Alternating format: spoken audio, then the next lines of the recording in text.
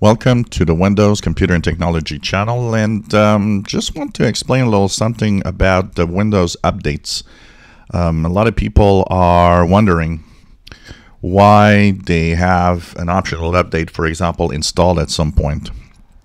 And here's the thing. When Microsoft introduced Windows 10, it introduced a new system called cumulative updates. This is in a very, very good, very nice feature in general because if you guys remember Windows 7, any tech guy will tell you that reinstalling Windows 7 is a nightmare with all the updates that it has to do.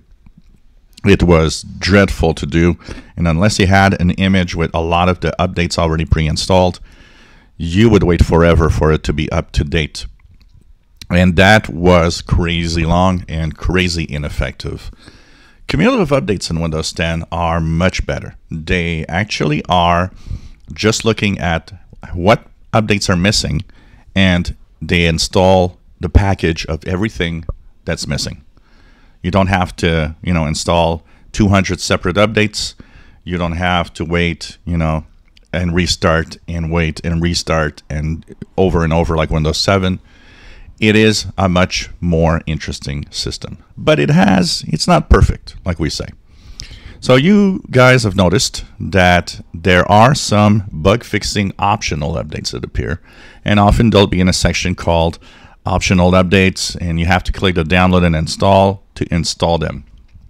These updates, when they are uh, downloaded to your PC, are often called preview updates. So any updates that has a name of preview, like you see here, are updates that are not security. A lot of people have the impression, oh, this is not a finished product. Yes, it is. It's the way they call updates that do not have any security in them.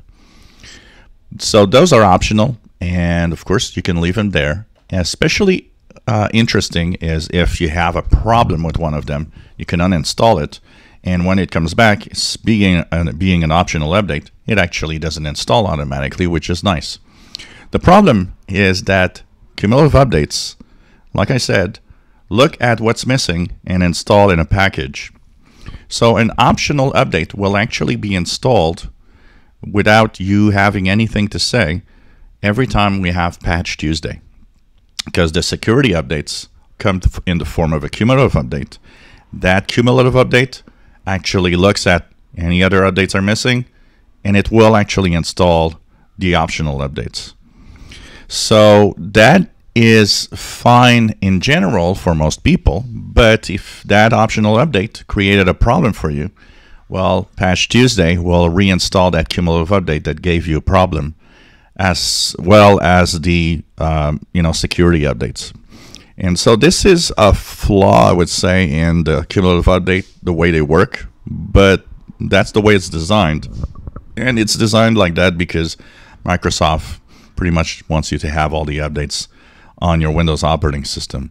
But it can be annoying uh, that it does that. It can be annoying that, you know, on a patch Tuesday security update, you do want them because they are important.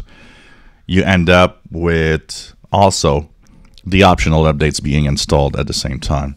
So when we get those optional updates, even if you don't install them, they get installed automatically with Patch Tuesday. So for example, this month, Patch Tuesday is going to be next week, September 14th.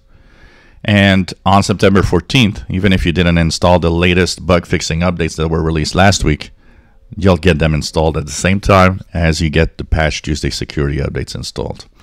This also makes the updates longer sometimes. So if you don't install the, the bug fixing updates, you might find that Patch Tuesday security updates take longer to install. Why? Because it installs also the other package at the same time. So, you know, in a perfect world, that would not be the case. Unfortunately, uh, that's the way it works.